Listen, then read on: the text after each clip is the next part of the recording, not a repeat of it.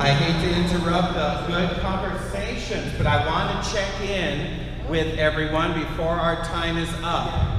Um, one of the things I want to point out is what you have been reading are short excerpts from the sermons of St. Bernard of Clairvaux. Sermon 1, Sermon 2, an excerpt is in the commentary in the book that you have. If you look at verse 2 in the commentary section. Sermon number 2, there's a section there. Uh, you had Sermon 3, Part A, and you had Sermon 3, Part B. Uh, St. Bernard wraps up this idea in Sermon 4. He wrote four full sermons expounding the depth of this one half verse. Let him kiss me with the kisses of his mouth, for your love is better than wine. That is expressed in all four of these sermons.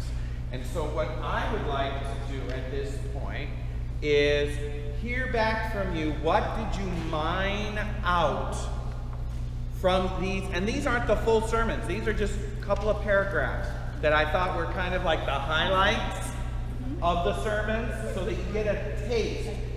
And just so you know, yes, there's another book.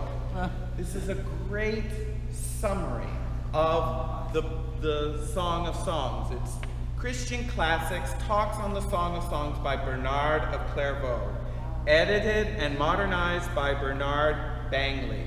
And it's a, it's a small book, uh, and it is, this is $15 put out by Paraclete Press. I'm not sure if it's still in print, but this is an excellent, this is where I got these from. Okay? This is just the beginning. Now, we're not going to do this with every single verse. Oh, thank the Lord we'd be here until the second coming. but the point of it is to show what level of spiritual depth there is in this love poem. We can't underestimate the level of the richness of the Word of God. And what better to teach us than this powerful saint?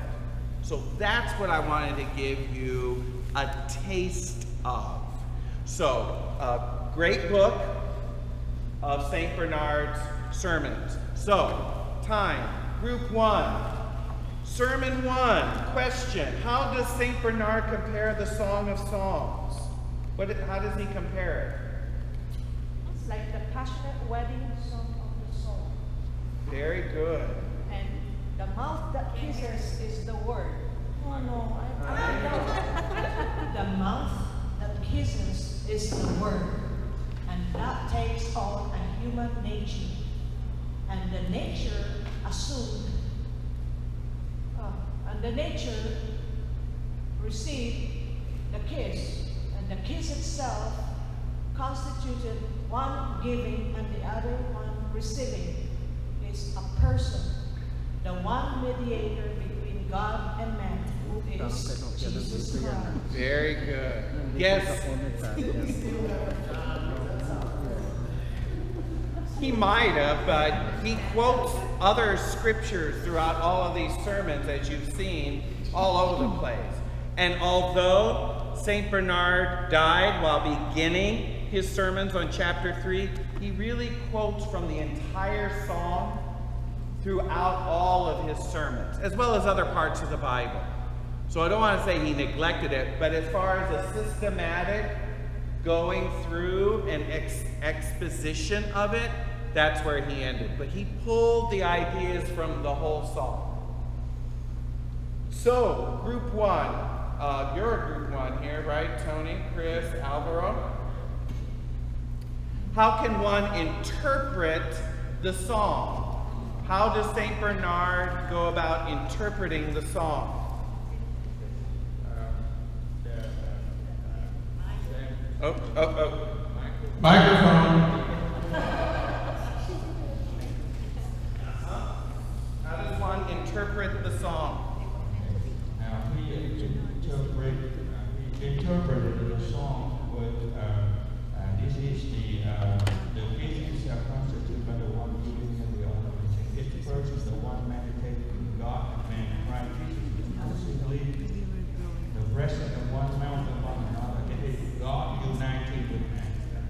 That's it.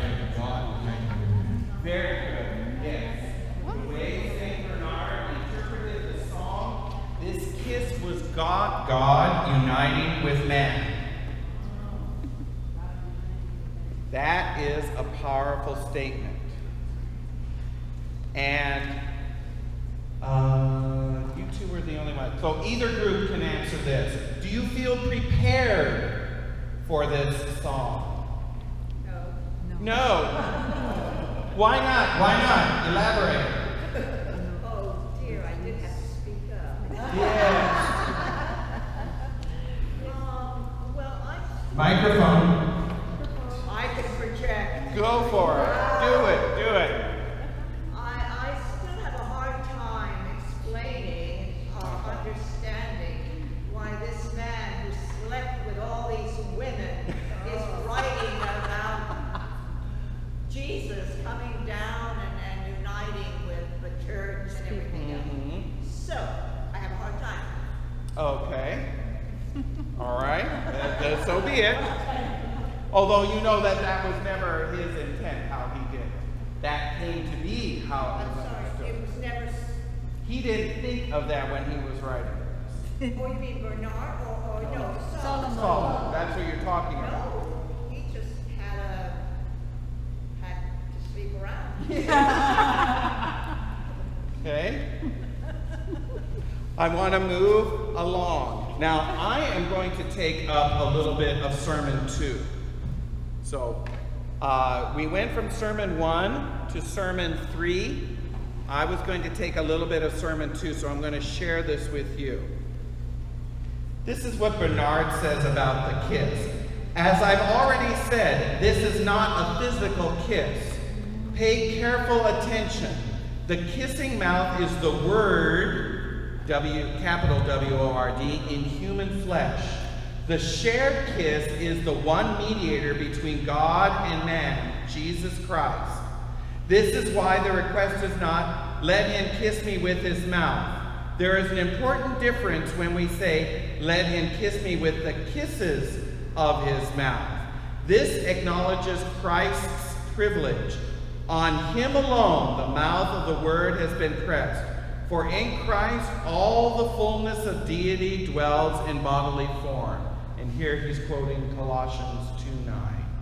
The kiss we speak of is therefore the product of divine humility.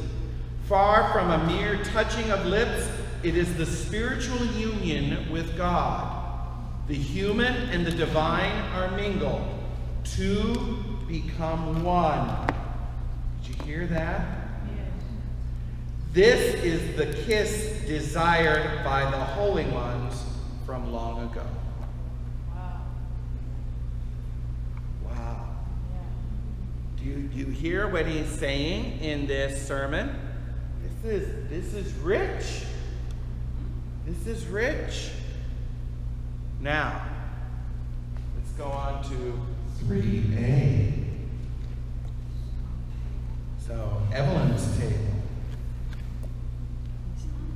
Do you think you've had the experience that is described in paragraph 1?